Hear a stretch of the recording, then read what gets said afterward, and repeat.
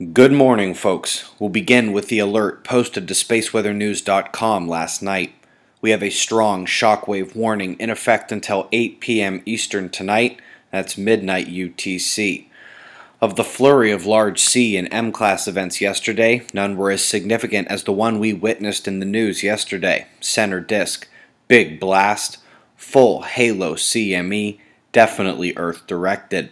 Keeping that in mind while we come to the solar wind, you'll remember we had two other CMEs already on the way and here they are.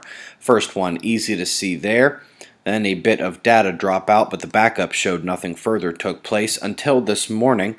That's the second shockwave impact we expected over on the right, slightly weaker than the first, but their effects were still additive.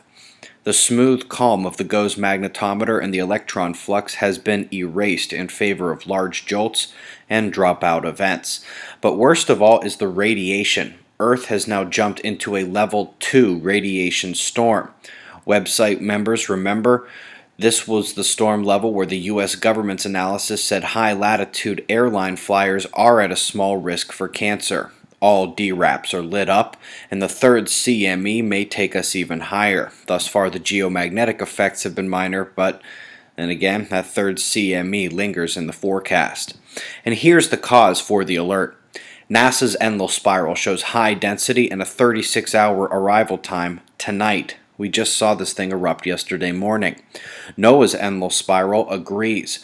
When we're talking kill shot, it would need to be less than one day arrival time for a CME, but less than two is still very significant, and if it's this dense, my eyes are open. Just a bit of info. These aren't exact, I literally scribbled this in the last few minutes just to explain some speed predictions.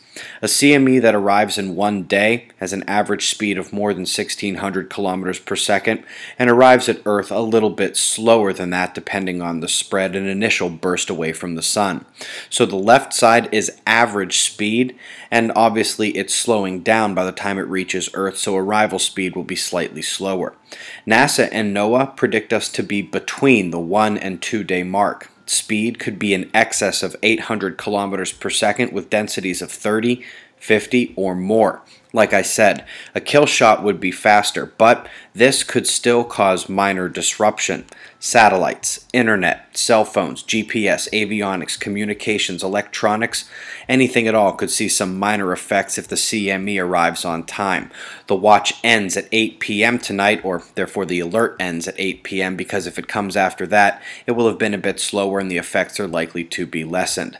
I happen to think it will be a bit slower, but hey, when NASA and NOAA both call a 36 hour CME event, I gotta say something, right? Otherwise, what am I doing here?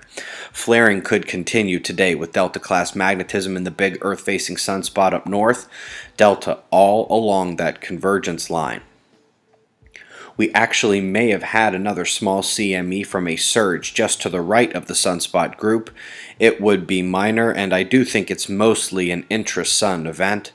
It is pretty though and Earth-facing coronal holes still have only moderate power, so we stay right about average or slightly above when it comes to seismicity. We took our second six-pointer in Fiji in a couple days. USGS downgraded it, but that's still a potential foreshock signal we'll watch today.